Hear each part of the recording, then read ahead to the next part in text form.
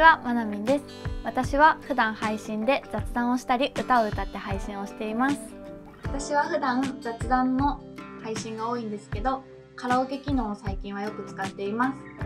す。最近はコロナの影響もあってカラオケに行くことがなかなかできないのでミクチャで歌っていることが多いです。ミクチャのアプリって機能がたくさんあってどのマークが何とかって難しいですよね今日はアプリの配信側の機能について説明していきたいなと思っています。まずは一番質問が多いこの宇宙マークから説明していきます。実はライブスコアという数字で盛り上がり度を表していて配信で投げられたコイン訪問者数配信時間ファン数コメント数などなどが加味されていきます。この数字が上がれば上がるほどおすすめ欄に出てくるんです。盛り上がり度を上げるために自分ができることは長く配信をすることだけなので最初のうちは長く配信をすることをお勧めします。配信していても最初のうちはコメントがなかなか来ないこともありますがそれは配信をしていることを知られていないだけです。まずは盛り上がり度を上げて配信を見つけてもらいましょう。次はカラオケ機能です。実はミクチャで配信中にカラオケをすることができます。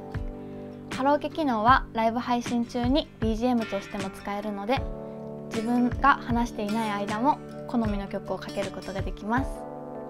私は最近あいみょんやヨルシカなどをかけてることが多いです。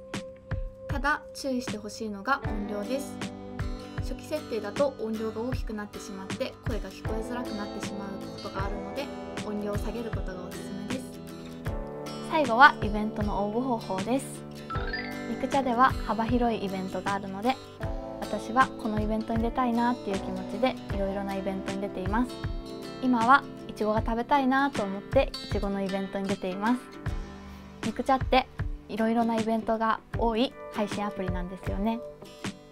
この赤文字の募集中のイベントというところを押すとこれから開催されるイベントの一覧が出てきます。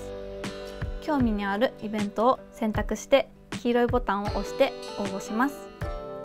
中には黄色いボタンからでは応募できないものもあるのでそこは注意してくださいね。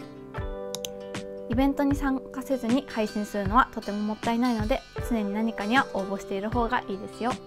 イベントが始まったら配信時にイベントの選択ができるので